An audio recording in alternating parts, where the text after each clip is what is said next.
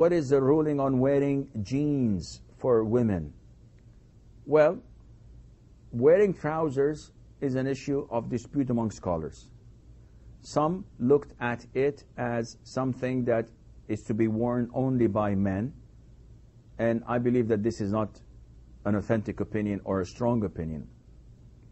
What I believe is that a woman can wear trousers providing that these trousers are not tight and they're not giving away her figure.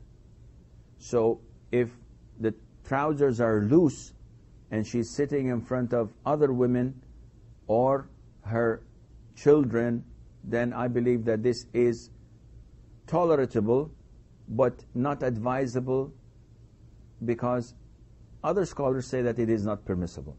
So just to be safe and Uh, uh, out of the room of doubt. However, wearing tight trousers or tight clothes, this is completely forbidden for both men and, and women, but especially for women, because there is something about women, about their curves that provoke people. And this is why Allah instructed women to cover up from head to toe when they leave. And no matter how ugly a woman is, she has to cover.